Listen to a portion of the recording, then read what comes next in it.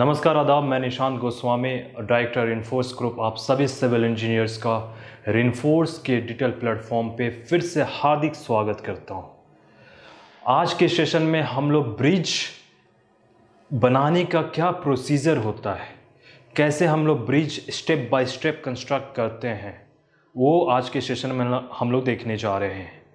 Bridge कई प्रकार के होते हैं। जैसे कि हमें पता है, road bridge, flyover foot over bridge river bridge sea bridge कई प्रकार के ब्रिज हमारे कंस्ट्रक्शन इंडस्ट्री में होते हैं। इनमें से एक रोड ब्रिज हम लोग आज देखेंगे, आज के सेशन में देखेंगे कि उसको बनाने की प्रक्रिया क्या है, क्या स्टेप बाय स्टेप प्रोसीजर होता है। आज का सेशन जो है, ये थोड़ी सी लंबी ज़रूर होगी, लेकिन आशा करता हूँ आप इस सेशन के लास्ट तक ज़रूर बने रहेंगे। उम्मीद करता हूँ कि ये सेशन आपको अच्छे से समझ में आएगा और काफ़ी महत्वपूर्ण होगा। तो आइए हमारे साथ चलते हैं ब्रिज बनाने की प्रक्रिया देखेंगे स्टेप बाय स्टेप प्रोसीजर देखेंगे कि ब्रिज कैसे बनाते हैं। स्टार्ट करते हैं।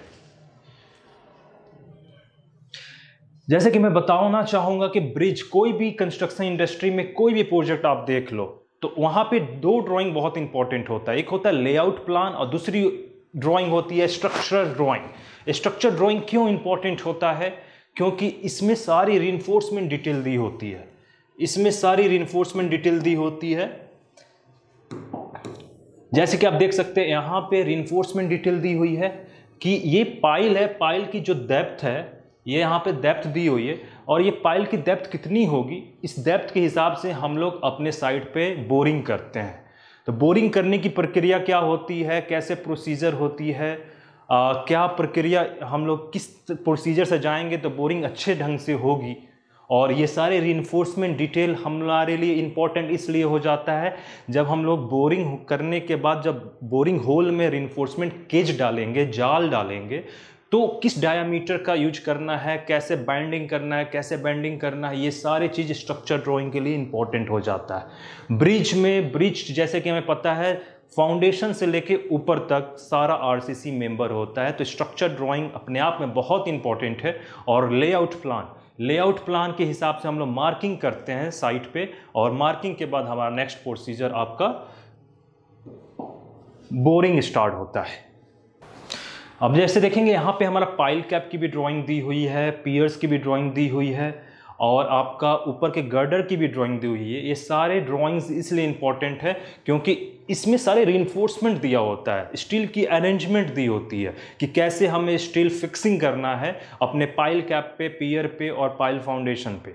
तो स्टार्ट करते हैं इस वीडियो के साथ। देखिए, हमारा बोरिंग कैसे हो रहा है पाइल की बोरिंग कैसे हो रही है, ये ये जो मशीन है, ये जो है, इसको हम लोग अगर बोरिंग मशीन बोलते हैं, अगर बोरिंग मशीन अब यहाँ पे देखिए, ये ना डाला जा रहा है इसको ना सॉलिड केसिंग बोलते हैं, इसलिए डाला जाता है ताकि जो भी हार्ड पार्टिकल्स है, जैसे हार्ड पार्टिकल्स क्या होती है, आपको मैं बताना चाहूँगा यहाँ पे। यहाँ पे कुछ पोर्शन पे ना, कुछ डेप्थ पे आपके ये केसिंग सॉलिड केसिंग डाल देते हैं, ऐसे सॉलिड केसिंग डाल देते हैं, ताकि जो हमारे नीचे से जो स्ट्रॉन्ग आपके बहुत हार्ड पार्टिकल्स जैसे स्टोन निकल के आ रहा है, या आपके बड़े बड़े पत्थर आ रहे हैं, या आपके स्टोन आ रहे हैं तो वो डैमेज ना करे। वो जो बोरिंग होल हुआ है, जैसे सपोज़ ये बोरिंग होल हुआ है तो इसको ना डैमेज ना करे। क्योंकि स्टोन जब आएगा तो इसको डैमेज कर सकता है तो हमारा जो डायामीटर है, वो हमारा फॉल हो जाएगा, वो हमारा डिस्टर्ब हो जाएगा। तो ये जो डायामीटर है, ये मेंटेन रहे, इसलिए यहाँ पे हम लोग एक सॉलिड पार्टिकल्स यहाँ पे केसिंग डालते हैं यहाँ पे ऐसे, ताकि जो भी स्ट्रॉन्ग पार्टिकल्स निकले तो इसको तोड़ते हुए, मिट्टी को घसकाते हुए ना निकले। इसलिए हम लोग ये यूज़ करते हैं। अब देखिए, ये जो है अगर बोरिंग मशीन इसी को बोलते हैं। अब ये हमारा साइट का विजुलाइजेशन है, आप देख सकते हैं साइट पे हमारा कैसे बोरिंग हो रहा है ड्रिलिंग हो रहा है। ये ड्रिलिंग क्यों हो रहा है? ड्रिलिंग इसलिए हो रहा है ताकि एक बार जब बोर हो जाए उसके बाद से हम लोग इसमें अपना एग्जीक्यूशन कोर एग्जीक्यूशन फॉलो कर सके। कोर एग्जीक्यूशन कहने का मतलब है कि इसमें री इन्फोर्समेंट केस डालें कॉन्क्रीट डालें और अपने प्रोसीजर को फिर फॉलो अप करें। तो देखें साइड का विजुलाइजेशन है ये। हमारा कैसे बोरिंग हो रहा है? ये ड्रिलिंग बोरिंग आपका ड्रिलिंग बोरिंग पाइप मशीन है। आप देखिए, ये सलरी पार्ट नीचे के जो आपके मिट्टी होंगे बोरिंग होल के, उसको लाके डंप कर रहा है। और ये सब कटर है। इसमें जो भी आप देखेंगे, यहाँ पे कटर ब्लेड टाइप का ड्रिलिंग प्लेट लगा होता है। ये बहुत ही हार्ड स्ट्राटा को निकालता है। अब यहाँ पे एनिमेशन के थ्रू समझेंगे। एनिमेशन में भी देखिए, यहाँ पे सेम वही प्रोसीजर हो रहा है।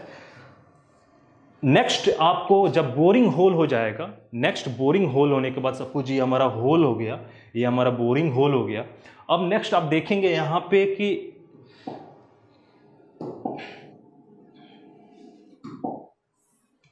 ये ऐसे देख रहे हैं, ये पाइप है, इस पाइप के थ्रू आपका क्या हो रहा है, इस पाइप के थ्रू आपका ये लिक्विड डाला जा रहा है इसमें, बोरिंग होल में लिक्विड डाला जा रहा है। इस लिक्विड को क्यों, ये लिक्विड को क्या बोलते हैं, क्यों डाला जा रहा है तो इसको बेंटोनाइट बोलते हैं, बेंटोनाइट पॉलीमर मिक्स।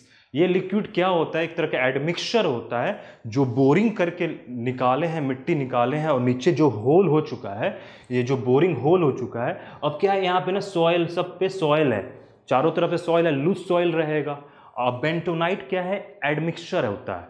ये क्या करता है? लिक्विड फॉर्म में हम लोग डालते हैं और चारों तरफ़ से जो बोरिंग होल हुआ है, इसके स्ट्रटा को मज़बूत कर देता है। मतलब आप कह सकते हैं to dry the wet soil जो भी यहाँ पे लूज सॉयल है, उसको आपका ड्राई कर देगा हार्ड कर देगा। हार्ड क्यों करना ज़रूरी है? अगर हार्ड नहीं करेंगे तो क्या होगा? सॉइल यहाँ से फॉल हो के यहाँ से सॉइल यहाँ से सॉइल घसक घसक के नीचे गिरेगा। और जब नीचे गिरेगा, घसक घसक के तो हमारा कंस्ट्रक्शन हमारा एग्जीक्यूट नहीं हो सकता है। इसलिए बेंटोनाइट पॉलीमर मिक्स एडमिक्सचर बनाते हैं और उसको यहाँ से पाइपिंग के थ्रू डालते हैं। तो देखिए, यही बेंटोनाइट पॉलीमर मिक्स कैसे डालते हैं, वो देखेंगे हम लोग। देखिए, ये बेंटोनाइट पॉलीमर मिक्स डाला गया। अब इससे क्या हो रहा है कि ये पूरा आपका हार्ड स्टाटा यहाँ पे आप देखेंगे। अब देखिए, यही चीज़ मैं बताना चाह रहा था कि बेंटोनाइट एक तरह का एडमिक्सचर होता है। एडमिक्सचर डालने से क्या होगा, हमारा जो भी यहाँ पे दोनों, चारों तरफ़ से ये जो सॉयल है, यहाँ पे जो सॉयल है इस सॉयल को ना अपने आप में हार्ड कर देगा। ताकि हार्ड इसलिए करना ज़रूरी है, ये दोनों तरफ़ हार्ड करना सॉइल को इसलिए ज़रूरी है, नहीं तो ये क्या होगा? सॉइल घसक के नीचे आएगा। खिसक के कोलाइड होके, आपका कोलैप्स होके नीचे आएगा। और नीचे आएगा इसका मतलब आप एग्जीक्यूशन फर्दर नहीं कर सकते इसलिए कभी भी बोरिंग करते हैं तो बेंटोनाइट पॉलीवर मिक्स एडमिक्सचर बना के इसमें लिक्विड के फॉर्म में हम लोग ट्यूब के थ्रू डालते हैं। ये डालने से क्या होगा कि आपका जो भी आपका लूज सॉइल है बोरिंग होल में, वो सब कुछ टाइम के लिए हार्ड हो जाएगा। नेक्स्ट प्रोसीजर चलते हैं हम लोग। अब बेंचोनाइट होने के बाद आप देखेंगे बेंचोनाइट हमारा बेंचोनाइट डालने से क्या होगा स्टार्टा हार्ड हो गया। अब इसके बाद से आप देखेंगे ये बकेट के थ्रू हम लोग एक सॉलिड पार्टिकल्स नीचे बोरिंग होल में डालेंगे। आप देखिए बकेट के थ्रू यहाँ पे आप देखेंगे, यहाँ पे एक सॉलिड पार्टिकल्स आपका डाला जाएगा यहाँ पे। देखिए सॉलिड पार्टिकल्स डाला गया आपका। सॉलिड पार्टिकल्स डालने के बाद, अब देखिए, यहाँ पे नेक्स्ट प्रोसीजर बहुत इंपॉर्टेंट है। वो बेंटोनाइट पॉलीमर मिक्स डालने के बाद एक सॉलिड पार्टिकल्स डाला गया नीचे बोरिंग होल के एक द बॉटम टिप मीन्स आप बोल सकते हैं पाइल बॉटम पोर्शंस पे। बॉटम ऑफ़ द पाइल जो सबसे नीचे वाला जो पोर्शन है पाइल का, वहाँ पे एक सॉलिड पार्टिकल्स डाला गया। और उसके बाद से एक टेस्ट होता है। उस टेस्ट का नाम होता है सोनिक लॉजिक मेज़रमेंट टेस्ट ये सोनिक लॉजिक मेज़रमेंट टेस्ट क्या होता है, मैं आपको बताना चाहूँगा। ये बहुत ही ultra high frequency ultrasonic wave आप, हम लोग एक फ्रीक्वेंसी के थ्रू देखते हैं कि जो भी हमारा इस बोरिंग होल में आपका कॉन्क्रीटिंग होने जा रहा है या कॉन्क्रीटिंग होने के बाद जब एक बार कॉन्क्रीटिंग हो जाएगा, उसके बाद से हम लोग देखते हैं कि जो नीचे कंपैक्शन जो नीचे कंक्रीट हुआ है इस बोरिंग होल में, वो सही से हुआ है या नहीं हुआ है? क्योंकि हमारा बोरिंग होल में क्या होता है कि ये तो डीप फाउंडेशन है। अब आदमी यहाँ पे आके तो देख नहीं सकता है ना? कॉलम वॉलम में तो आदमी एक up to the limit height रहता है। लेकिन यहाँ पे क्या है? लिमिटेशन तो है नहीं डीप फाउंडेशन है। अब इतना नीचे तक तो कोई आ नहीं सकता देखने के लिए। तो एक मेज़रमेंट करते हैं सोनिक लॉजिक मेज़रमेंट टेस्ट वो टेस्ट क्या होता है, वो मैं डिटेल में बताऊँगा। उसमें क्या होता है कि एक वायर हम लोग नीचे डालते हैं, इस बोरिंग होल में डालते हैं और ट्रांसड्यूसर और रिसीवर लगा होता है। और वो एक सोनिक लॉजिक डिवाइस से कनेक्ट होता है। तो जो भी कॉन्क्रीटिंग हो रहा है वो उसके पूरा बताएगा, उस पर ग्राफ्स निकल के आता है कि इसमें कॉन्क्रीटिंग जो हो रहा है, इसमें हॉनी कम तो नहीं है मतलब अच्छा से कंपेक्शन के थ्रू हो रहा है। और दूसरा जो पाइल का जो डाया है, वो डाया तो डिस्टर्ब नहीं हो रहा है। फॉर एग्ज़ाम्पल 1200 सौ mm डाया ऑफ़ पाइल है। पाइल की जो गोलाकार है, वो 1200 सौ mm है तो वो तो डिस्टर्ब नहीं हो रहा है, वो देखा जाता है। तो सोनिक लॉजिक टेस्ट बहुत इंपॉर्टेंट होता है। जहाँ पे पाइल बोरिंग होगा, जहाँ पे पाइल फाउंडेशन होता है, वहाँ पे सोनिक लॉजिक टेस्ट ऑलमोस्ट हर जगह यूज़ होता है। तो वही हम लोग इस वीडियो में फिर से आपको मैं दिखाऊँगा विजुलाइजेशन के थ्रू देखिएगा कैसे हो रहा है। अब, आप देखिए, ये बेंटोनाइट आपका, ये सारा अभी बेंटोनाइट का ही प्रोसीजर हो रहा है। ये बेंटोनाइट डाला जा रहा है, धीरे धीरे धीरे धीरे ये ट्यूब के थ्रू पूरा डाला जा रहा है, ऊपर तक जा रहा है बेंटोनाइट आप देखिए, और ये आपका साइट का विजुलाइजेशन है, यही वेंटोनाइट डाला जा रहा है, यही वेंटोनाइट है आपका। अब देखिए, यही चीज़ मैं बोल रहा हूँ आपको सोनिक लॉजिक मेज़रमेंट टेस्ट या सोनिक कैलिपर मेज़रमेंट टेस्ट। ये क्या होता है? आप देखिए, यहाँ पे वायर्स, यहाँ पे वायर्स डाला जा रहा है। एक यहाँ पे आपका वायर डाला जा रहा है। ये ना वायर है। ठीक है? और ये वायर काफ़ी हाई फ्रीक्वेंसी अल्ट्रासोनिक वेव निकालते हुए जाता है। और यहाँ से ये वायर जो होता है ना, यहाँ पे एक डिवाइस लगा होता है। इस डिवाइस से कनेक्टेड होता है। तो होता क्या है कि ये वायर छोड़ देते हैं और उसके बाद से इसमें रीन्फोर्समेंट डल जाएगा और कॉन्क्रीटिंग हो जाएगा और उस रीन्फोर्समेंट से ये वायर कनेक्टेड होता है और सोनिक यहाँ पे जो डिवाइस है, ये डिवाइस से फिर कनेक्ट होगा और यही डिवाइस आपको बताएगा कि जो भी आपका कॉन्क्रीटिंग नीचे हो रहा है, वो सही हो रहा है या नहीं हो रहा है। मतलब ज़्यादा हॉनीकॉम तो नहीं हो रहा है कंपेक्शन सही है कि नहीं है?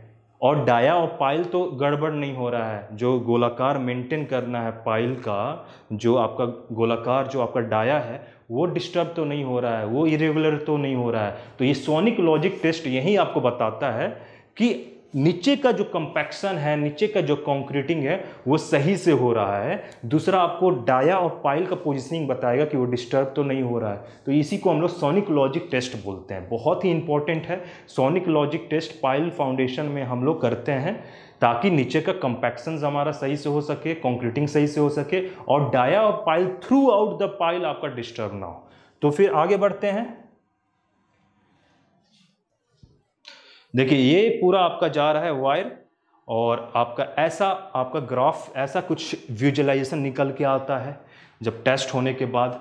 अब देखिए, यहाँ पे कॉन्क्रीटिंग होना चालू हो रहा है। देखिए, अब यहाँ पे क्या है जो मैं बता रहा था आपको कि ये रिइंफोर्समेंट डालने के बाद रिइंफोर्समेंट डालने के बाद आप यहाँ पे देखेंगे कि यही वायर आपका कनेक्टेड होता है रिइंफोर्समेंट से।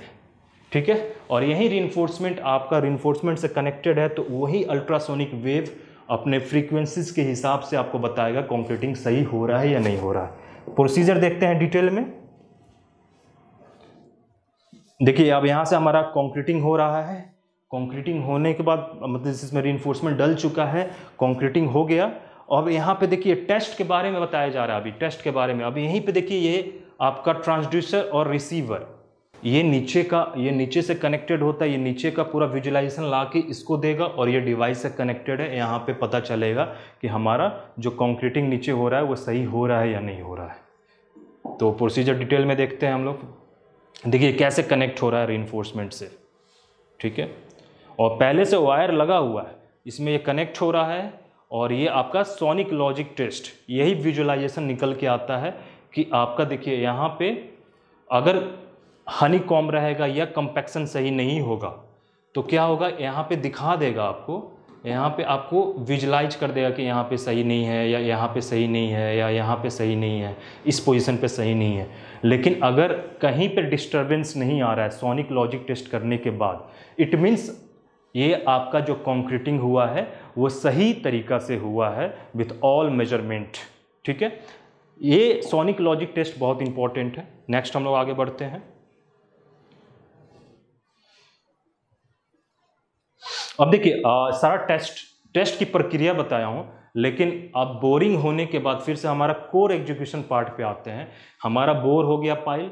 पाइल बोर होने के बाद हमने क्या किया? बेंटोनाइट डाला। बेंटोनाइट क्यों डाला?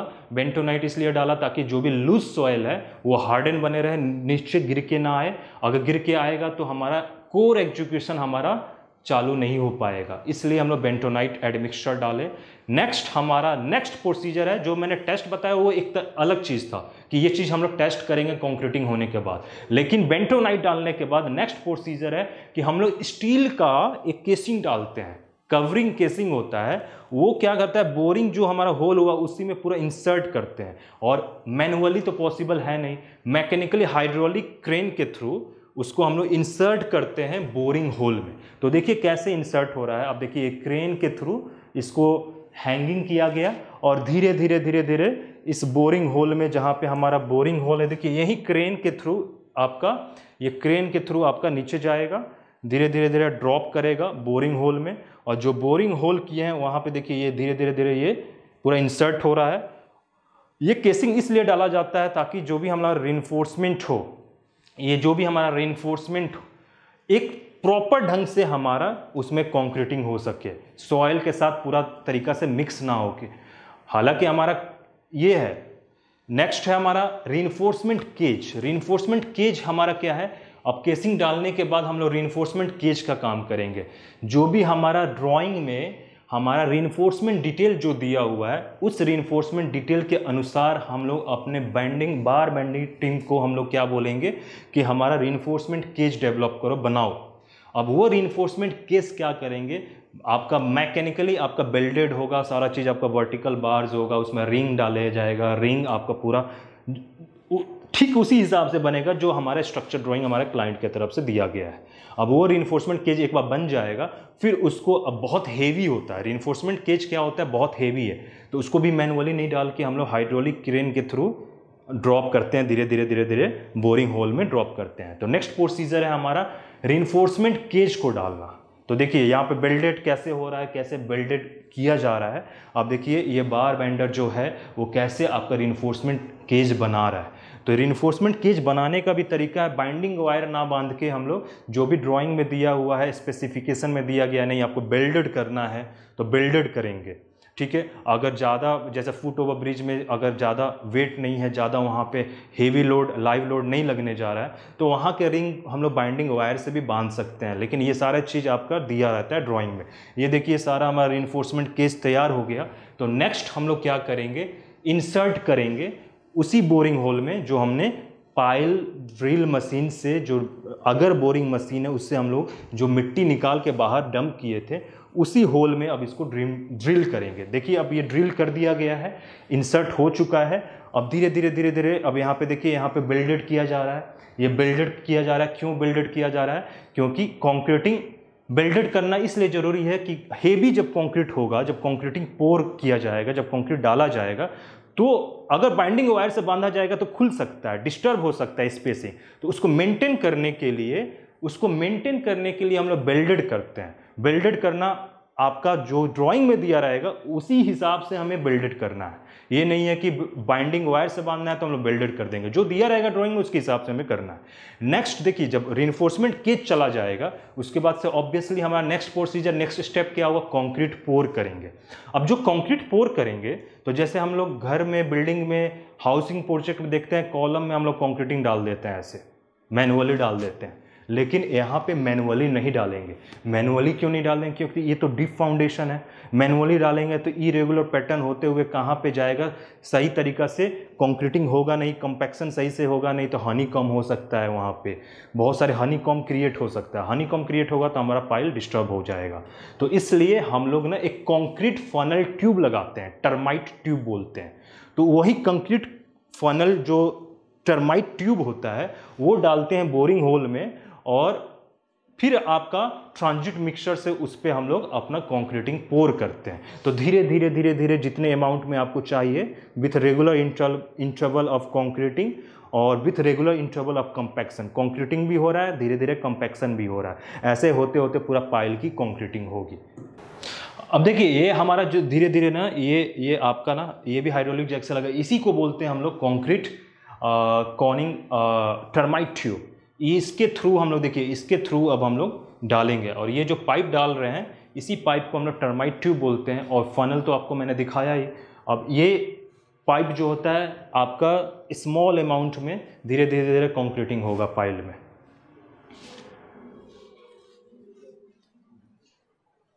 तो देखिए, ये आपका हाइड्रोलिक जैक से कसा जा रहा है, उसको उसको जैक किया जा रहा है। यहाँ पे मैनुअली जैक हो रहा है। और जैक होने के बाद अब देखिए ये धीरे से इंसर्ट होगा और ट्रांजिट मिक्सचर या कंक्रीट मिक्सचर के थ्रू जो हमारा पंप के थ्रू आपका जो पंप पाइप होता है, वो आके यहाँ पे कनेक्टेड होगा और इसके थ्रू पूरा कंक्रीटिंग होगा। ये जितने भी बोरिंग होल हुए हैं, अब बोरिंग होने के बाद ये रिइंफोर्समेंट केज हो गया, अब धीरे धीरे कंक्रीट पोर हो रहा है। आप देख सकते हैं यहाँ पे कंक्रीट पोर हो रहा है यहाँ पे। ट्रांजिट मिक्सर या कंक्रीट मिक्सर के थ्रू यहाँ पे कंक्रीट पोर किया जा रहा है। और ये धीरे धीरे धीरे धीरे जाता है। एक बार में पूरा नहीं डाल सकते हैं। एक बार में अगर पूरा डालोगे तो क्या होगा? हमारा री जो केज बना है, वो भी उस पर वेट जाएगा। वो खुलने का, आपका डिस्टर्बेंस का ये रहता है रिस्क रहता है। जो स्पेसिंग मेंटेन है, वो डिस्टर्बेंस हो जाए तो उसको बचाना होता है, उसको अवॉइड करना होता है। इसलिए थोड़ा सा लो इंटेंसिटी के थ्रू हम लोग कॉन्क्रीट फनल के थ्रू हम लोग कॉन्क्रीटिंग कर रहे हैं यहाँ पे। यहाँ पे देखिए धीरे धीरे धीरे धीरे कॉन्क्रीटिंग हो रहा है हमारा। और ये पूरा कम्पैक्ट कॉन्क्रीट होने के बाद पूरा हमारा पाइल फाउंडेशन में कंक्रीट पोर हो गया। अब नेक्स्ट देखिए, यहाँ पे क्या है कि हमारा कंक्रीट पोर होने के बाद आपका जो हमारा पाइल फाउंडेशन का बेड लेवल है, कट ऑफ़ लेवल है मतलब यहाँ तक तो पाइल फाउंडेशन थोड़ा सा और तीन चार पाँच फीट ऊपर तक लेते हैं, हमारे स्ट्रक्चर ड्राइंग में दिया रहता है। पाइल फाउंडेशन अगर 10 मीटर है तो उससे थोड़ा सा तीन चार फीट और ऊपर हमारा पाइल फाउंडेशन कॉन्क्रीटिंग होता है। अब यहाँ पे जो ये चीज़ देख रहे हैं, आप यहाँ पे देखेंगे कि यहाँ पे जो कंक्रीटिंग हुआ है, इसको ना टैमर हैमिंग करके इसको ना इसको ना तोड़ के निकाल देते हैं। इस यहाँ पे क्या होता है ना, यहाँ पे पाइल फाउंडेशन हमारा कंक्रीटिंग होने के बाद, यहाँ पे पूरा, यहाँ पे कंक्रीट जमा मतलब यहाँ ऊपर तक कंक्रीटिंग हमारा हुआ और बाद में मैनुअली या मैकेनिकली कुछ हाइट पे पाइल कट ऑफ़ लेवल इसको पाइल कट ऑफ़ लेवल बोलते हैं। कुछ हाइट पे हम लोग इसको कट करके निकाल देते हैं। अब ये कटिंग जो करते हैं, ये आप मैनुअली भी कर सकते हैं मैकेनिकली भी कर सकते हैं। तो ये दिया रहेगा ड्राइंग में। अब ये क्यों कट करते हैं, ये भी मैं बताना चाहूँगा। पाइल चिपिंग इस प्रोसीजर को पाइल चिपिंग बोलते हैं कि जो कॉन्क्रीट ऊपर कट ऑफ़ लेवल से तीन, चार, पाँच फीट ऊपर तक जो आपको तोड़ के हटाना है, इस प्रक्रिया को हम लोग क्या बोलते हैं पाइल चिपिंग पाइल चिपिंग इसलिए इंपॉर्टेंट है क्योंकि हमारा जो पाइल फाउंडेशन में जो कंक्रीट पोर हुआ है, नीचे कई सारे मतलब कई तरह के गंदगी हैं, जैसे पोलोथीन सीट है, प्लास्टिक है, बहुत सारे इम्प्योरिटीज़ रहता है। तो क्योंकि अब हम लोग तो नीचे घुस के निकाल नहीं सकते हैं। तो एक्वा प्रेशर के फिनोमेनन से एक्वा प्रेशर फिनोमेनन क्या होता है? जैसे बकेट में पानी डाल दो और उसमें कुछ गंदगी है तो या तो वो नीचे जम जाता है या तो ऊपर आ जाता है। ठीक वही एक्वा प्रेशर का फिनोमेनन यहाँ पे भी लागू होता है।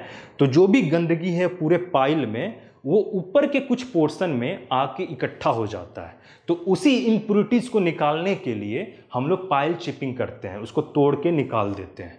कुछ लेबल का मतलब कट ऑफ़ लेवल से ऊपर का जो भी पाइल का पोर्शन है, उसको रिमूव करके निकाल देंगे। ध्यान रहे, सिर्फ़ कॉन्क्रीट निकालते हैं रीइंफोर्समेंट नहीं निकालेंगे। रीइंफोर्समेंट वैसा का वैसा ही रहेगा, ताकि वो जब ऊपर का पाइल कैप आएगा, वो पाइल कैप उसमें आके लैप हो जाए और फिर पाइल का कॉन्क्रीटिंग होगा। तो देखिए कैसे आपका ये आपका प्रोसीजर होगा।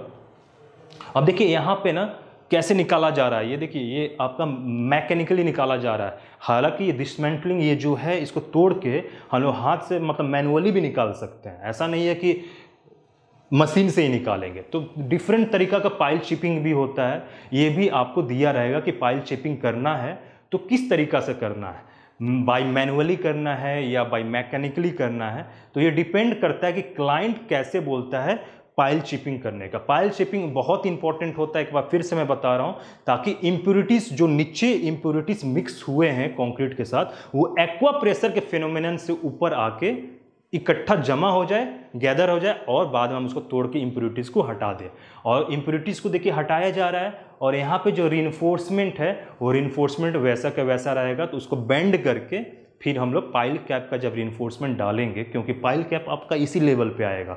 तो पाइल कैप का जो रिइन्फोर्समेंट डालेंगे, उसी के साथ लैप करा के फिर कॉन्क्रीटिंग कर देते हैं। तो ये बहुत ही इंपॉर्टेंट होता है। देखिए कैसे आपको निकाला जा रहा है, ये आपका मैकेनिकली निकाला जा रहा है।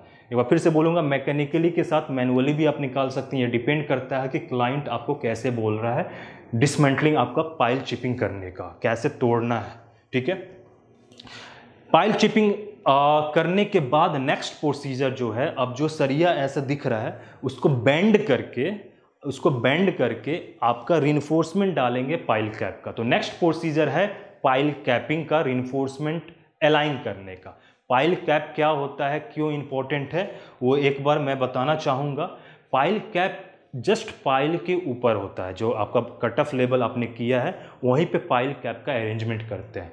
पियर जो होता है पियर मतलब पाइल कैप के ऊपर का पोर्शन कोई भी ब्रिज पे लोड आता है तो गर्डर पे आता है, गर्डर से आपका बियरिंग प्लेट पे जाता है बियरिंग प्लेट से आपका पियर पे आता है और पियर से आपका पाइल कैप में आता है, फिर पाइल कैप के थ्रू पाइल में जाता है और पाइल कैप में जाने के बाद वो आपका लोड आपका आपका एग्जॉस्ट हो जाता है सॉइल में जाके डिस्ट्रीब्यूट हो जाता है।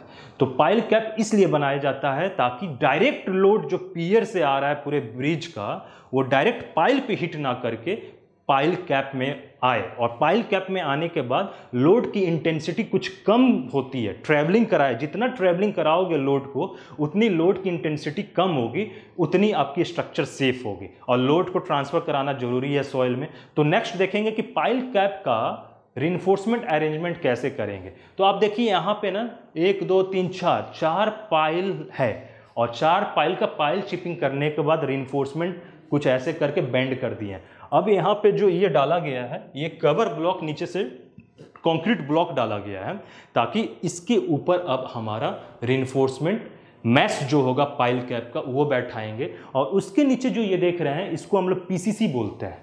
इस वाले पोर्शन को हम लोग पीसीसी करेंगे। ये हमारा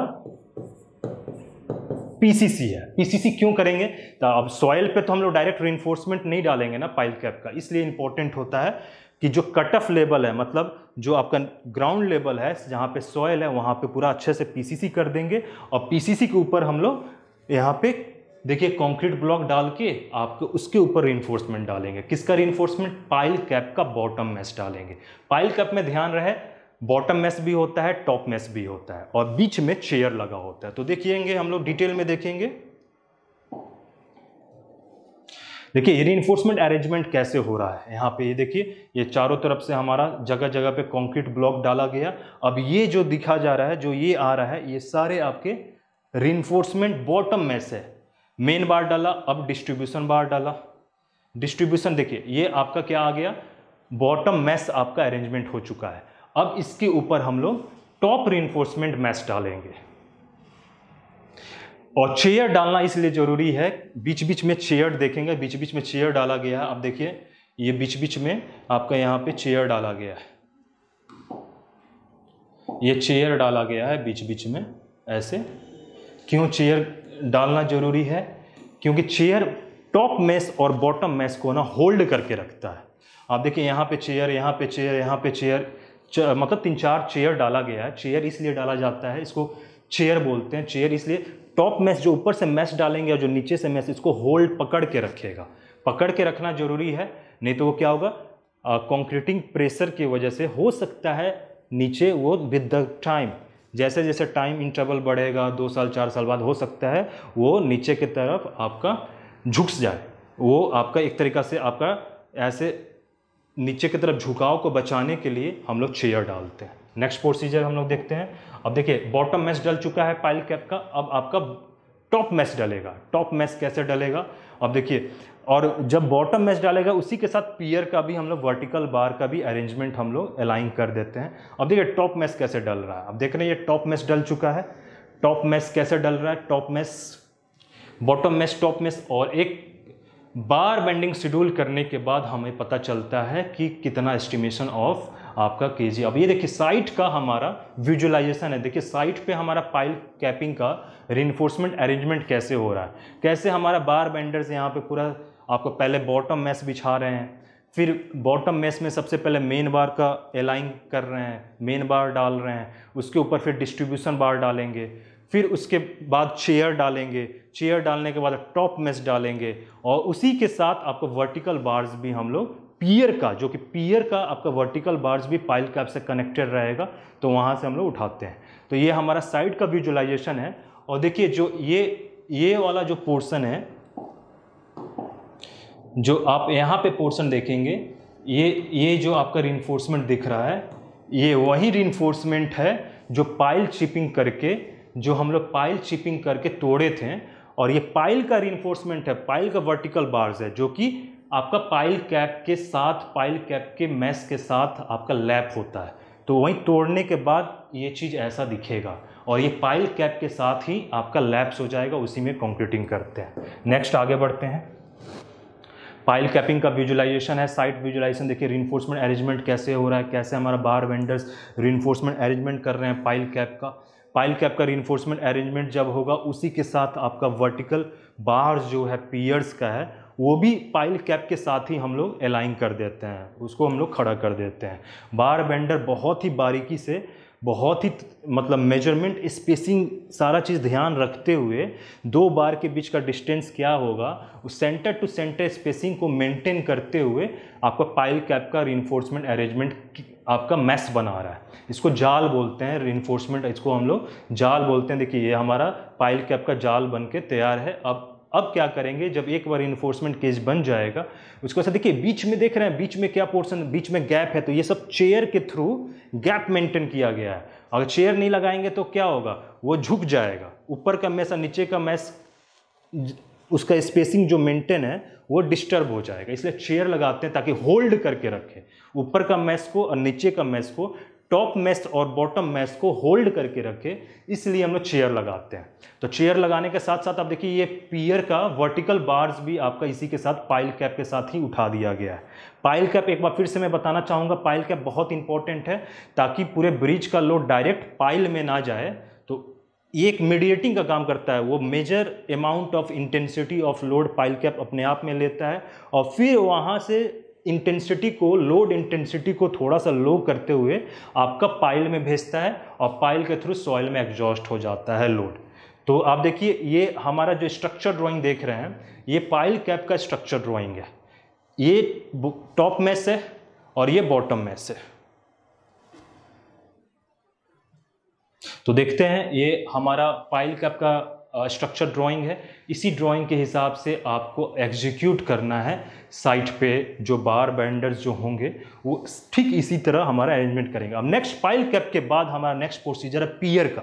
पियर क्या होता है? पियर्स क्या होता है? ये भी वर्टिकल स्ट्रक्चर है, जो कि सुपर स्ट्रक्चर जो होता है, उसको कनेक्ट करता है।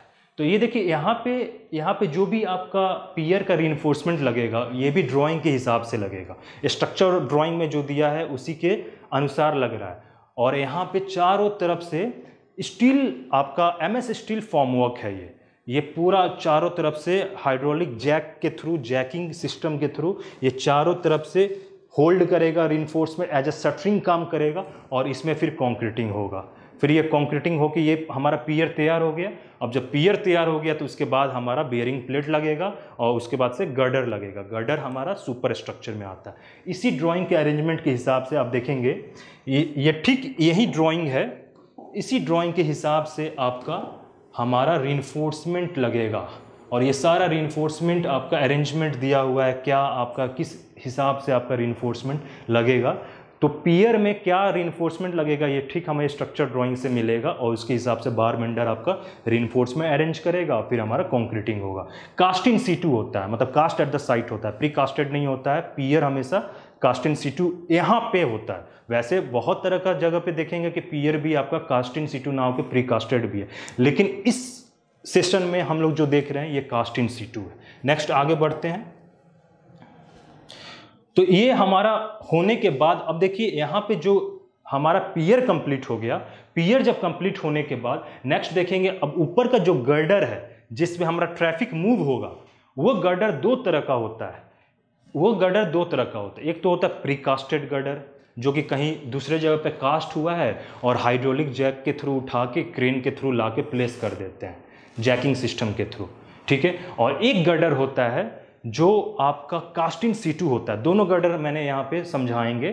तो पहला गर्डर है कास्टिन सीटू ना प्री कास्टेड तो प्री कास्टेड मीन्स होता है कहीं दूसरे जगह पे कास्ट हो चुका है और उसको ला के हाइड्रोलिक जैक के थ्रू उठा के हाइड्रोलिक क्रैन के थ्रू लिफ्ट करके उसको ला के प्लेस कर देंगे। देखिए कैसे आपका यहाँ पे लिफ्टिंग हो रहा है। ठीक ऐसे ही ये प्री कास्टेड गर्डर है जो कि सुपर स्ट्रक्चर में आता है। ये गर्डर आपका ऊपर जाके प्लेस हो जाएगा और फिर वहाँ पे नट बोल्टेड होके फिर हमारा ये तैयार हो जाएगा ट्रैफ़िक मूवमेंट के लिए। इसमें क्या रिइन्फोर्समेंट लगेगा इस प्री कास्टेड गर्डर में? ये सारे चीज़ ड्राइंग में दिया रहेगा। हमें प्री कास्टेड भी करना है या कास्ट इन सीटू करना है तो उसमें रिइन्फोर्समेंट क्या होगा? कॉन्क्रीट किस ग्रेड का कॉन्क्रीट होगा? मिक्स डिज़ाइन होगा तो मिक्स डिज़ाइन हम तैयार करेंगे। कितना एम का डाया रिइन्फोर्समेंट यूज़ होगा, ये सारा आपका स्ट्रक्चर ड्राइंग में उपलब्ध होगा और उसके हिसाब से हम लोग रिइन्फोर्समेंट अरेंजमेंट करके प्रिकास्टेड करेंगे और फिर हाइड्रोलिक कैन के थ्रू हम लोग लिफ्ट करके वहाँ पे हम लोग जो पियर है, उसके ऊपर पियर कैप पे जाके प्लेस कर देंगे। नेक्स्ट ये हम समझाना चाह रहे हैं आपको cast in situ pier cast in situ आपका गर्डर किस तरह से प्लेस होगा, कैसे हम लोग कॉन्क्रीटिंग करेंगे, वो इस वीडियो में आप देखेंगे। देखिए, अब क्या है ये हमारा? ये क्या हमारा? पियर तैयार है। ऊपर हमारा सटरिंग प्लेट लग रहा है फॉर्मक प्लेट लग रहा है और ये सारा आपका पैनल लग रहा है। पैनल जैक पैनल होता है। और ये जैक पैनल डिफरेंट आपका थोड़ा high specific type of shuttering formwork है। ये लग गया गर्डर का सटरिंग लग गया। और गर्डर का सटरिंग लगने के बाद अब री लग गया इसमें। री प्लेस किया जाएगा ड्राइंग के हिसाब से, जो भी ड्राइंग में दिया रहेगा। और री जब एक बार प्लेस हो गया नीचे से हमारा फॉर्मवर्क तैयार है तो हमारा कंक्रीट पोरिंग स्टार्ट होगा। कंक्रीट पोरिंग कैसे होगा? आप देखिए, ये कंक्रीट पोरिंग हो रहा है। ये देखिए कंक्रीट पोरिंग कैसे हो रहा है। तो ये जो कंक्रीट पोरिंग होगा विथ कंपैक्शन कंपैक्शन भी चालू रहेगा कॉन्क्रीटिंग भी होगा। इस प्रोसीजर को हम लोग बोलते हैं गर्डर का कास्टिंग सीटू गर्डर है ये। मतलब गर्डर आपका सुपर स्ट्रक्चर पार्ट है। ये साइट पे ही लोकेशन मतलब एट द क्रॉस सेक्शन ही हमारा कंक्रीट पोर हो रहा है। और हेवी स्ट्रक्चर आपका हेवी फॉर्मवर्क यूज़ होता है यहाँ पे। आपका M S steel formwork jack different jack lag के थ्रू आपका ये प्रोसीजर कंप्लीट होता है। एक मैंने साइट का विजुलाइजेशन यहाँ पे ऐड किया है। देखिए, ये जो है हमारा यहाँ पे जो पोर्सन है ये वाला, ये पोर्सन हमारा पियर है, ये पियर कैप है और यहाँ पे जो गर्डर आपका जा रहा है, ये गर्डर की बात कर रहा हूँ मैं, जो कि कास्ट इन सीटू है। ये कास्ट इन सीटू गर्डर होने जा रहा है, जो कि यहाँ पे कास्ट यहाँ पे पूरा आपका चैनल लग गया है और यहाँ पे कास्ट इन द साइट होगा। मतलब वहीं पे क्रॉस सेक्शन पे कंक्रीट को पोर किया जाएगा। और 14 दिन बाद 28 दिन बाद जो भी आपका सटरिंग पीरियड टाइम है removal of the shuttering time है, उसको रिमूव करके आपका हम लोग open for the movement of the traffic हम लोग कर देंगे। तो यही प्रोसीजर है आपका ब्रिज बनाने का रोड ब्रिज फ्लाईओवर बनाने का। ये प्रोसीजर स्टेप बाय स्टेप आपको याद रखना होगा कि सबसे पहले हमारा बोरिंग हो रहा है पाइल बोरिंग किया गया। पाइल बोरिंग के बाद हमने नेक्स्ट प्रोसीजर क्या किया? टर्माइट आपका जो बेंटोनाइट पॉलीमर मिक्स है, उसको लिक्विड के फॉर्म में हमने बोरिंग होल में डाला। क्यों डाला? ताकि सॉयल इंटैक्ट रहे, हार्ड रहे सॉयल डिस्टर्ब ना करे हमारा कोर एजुकेशन पार्ट को। नेक्स्ट, इसके बाद हमने क्या किया? हमने एक मेज़रमेंट किया। मेज़रमेंट मतलब नीचे हम लोग एक सोनिक मेज़रमेंट लॉजिकल, आपका सोनिक लॉजिकल मेज़रमेंट टेस्ट होता है। हाई फ्रिक्वेंसी का तार हम लोग नीचे इंसर्ट करते हैं और रिन्फोर्समेंट के साथ अटैच करते हैं और ऊपर डिवाइस लगा होता है। कॉन्क्रीटिंग होने के बाद वो क्या है डिवाइस से, उस डिवाइस में बताएगा कि नीचे कॉन्क्रीटिंग हो रहा है तो सही से हो रहा है या नहीं हो रहा है कंपेक्शन सही है कि नहीं है फैक्टर सही है कि नहीं।